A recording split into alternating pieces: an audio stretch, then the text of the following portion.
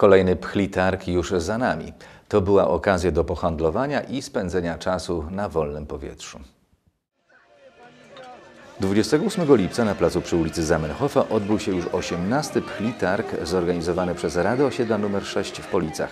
Wśród mieszkańców cieszy się on dużym zainteresowaniem.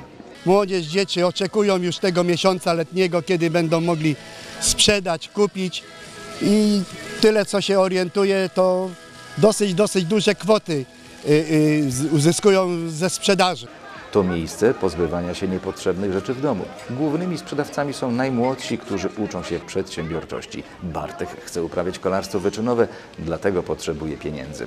Ja się dowiedziałem ogólnie od mamy, że dzisiaj jest pchlitarg, bo tak to bym zaspał na niego.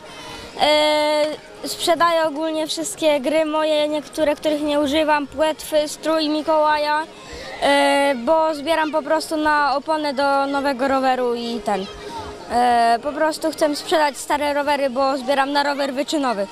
Na pchlintargu nie brakowało zabawek, książek, ubrań czy drobiazgów do szkoły. Za udział Rada Osiedla nie pobierała opłat. Nikola chciała zarobić na drobne przyjemności. Ja wydam pieniążki, je zarobię na lody, na jakieś wycieczki. No nie wiem, gdzieś będę wyjeżdżać na pewno z tych pieniędzy. Jak ja niedługo jadę do kuzynki, to ja tam wydam pieniądze. Bo chciałam sobie kupić taki dresik, że to jest połączone i takie buty może na rolkach. Albo, albo świecące podeszwy nad buty. Pomysł zorganizowania pchlego targu na placu przy Zamenhofa powstał w Radzie Osiedla nr 6, ale jego pierwotną pomysłodawczynią była Róża Kłys, ówczesny sekretarz gminy. Kilka lat wcześniej pchle targi kilkakrotnie organizowano na placy przy ulicy Armii Krajowej i w Miejskim Ośrodku Kultury w Policach. Tata mnie namówił do tego, żebym tutaj przyszła, bo to jest pierwszy raz i tata chciał, żebym wzięła w tym udział. I to wszystko. A co sprzedajesz? No, sprzedaję różne zabawki, rzeczy, maskotki, do roweru rzeczy. Zainteresowaniem cieszyło się szkło i ceramika. Właścicielka tych eksponatów mieszka w Szczecinie, ale w prosty sposób dowiedziała się o atrakcyjnej imprezie. Pomysł na Plitarg y, za, zasięgnęłam z Facebooka. Na Facebooku Rada Osiedla ogłosiła, y, wywiesiła taki plakat, w którym było mm, podane gdzie i kiedy co, a ponieważ u nas w domu nazbierało się przez pokolenia mnóstwo różnych rzeczy, jak widać same drobiazgi, każde z innej parafii, że tak powiem, postanowiliśmy przyjść i za grosze może się z kimś podzielić.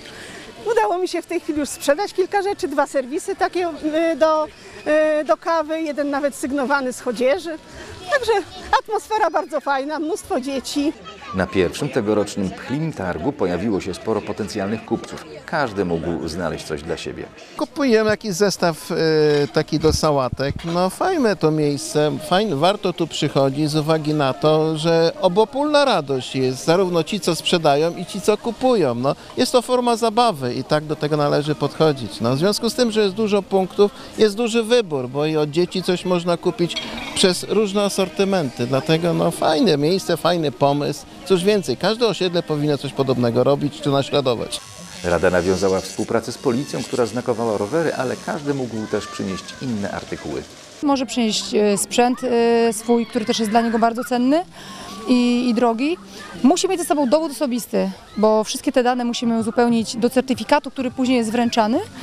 E, Również musi posiadać gwarancję. Gwarancję zakupu tego produktu, bo również te informacje są e, niezbędne do wpisania e, w te dokumenty. Ten numer jest wpisywany u nas do specjalnej karty. Ta karta jest przechowywana i w przypadku, gdy ten sprzęt zostanie skradziony bądź nawet zagubiony, można do nas przyjść, powiedzieć, że ten sprzęt był oznakowywany wcześniej przez nas, my ten numer odszukamy i jest po prostu dużo łatwiej ten sprzęt odnaleźć. Rada Osiedla za każdym razem zapewnia dzieciom atrakcje i jak zwykle na placu stanął dmuchany zamek. Następny Pchli odbędzie się 25 sierpnia. Sierpniowy był zawsze ostatnim Pchlim Targiem. W tym roku od tej zasady będzie wyjątek. Jeszcze jeden Pchli odbędzie się 22 września, na który organizatorzy już zapraszają i zapowiadają atrakcje.